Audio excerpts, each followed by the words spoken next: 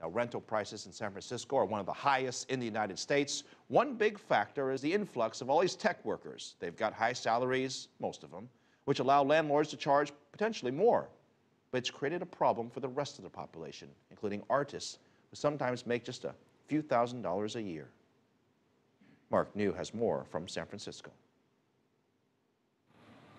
Surrealist artist Sandra Yagi feels fortunate to be able to do what she loves for a living.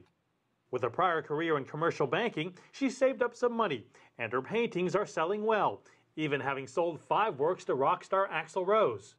But even with her success, she still had to move from studio to studio, when landlords sometimes double and even triple the rent. I've never seen it like this in San Francisco before. I was working a corporate job beforehand, so I thought I had planned appropriately for contingencies in the marketplace and so forth, and I'm still finding it a struggle. Heather Holt is an artist who also works with organizations to help other artists survive. One such project is a gathering place for artists called Adobe Books, which relocated and formed a cooperative after being squeezed out to the rental market. Holt says artists' contributions, like serving as educators and beautifiers of buildings and streets, are being overlooked.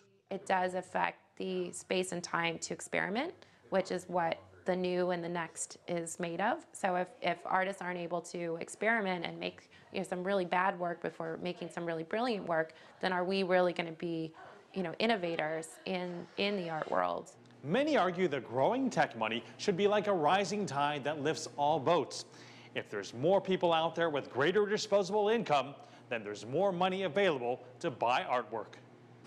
But artists say purchases from that sector of society are few and far between, with techies preferring to stay in their own world.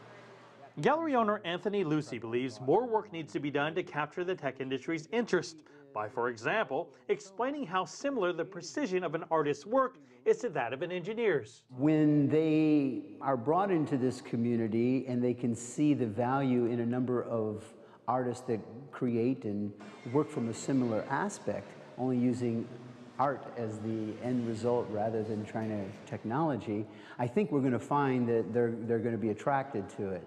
But we haven't created that integration yet, and that's the consequence. Tech's influence looms over Yagi every day, for her studio is right behind Twitter, which signed a special tax break with the city, now referred to as the Twitter tax break. They're more like the harbinger of change mm -hmm. Or even doom. Themes of economic disparity are now becoming more prominent in Yagi's work. Art imitating life, and in this case, surreality becoming reality. Mark Niu, CCTV, San Francisco.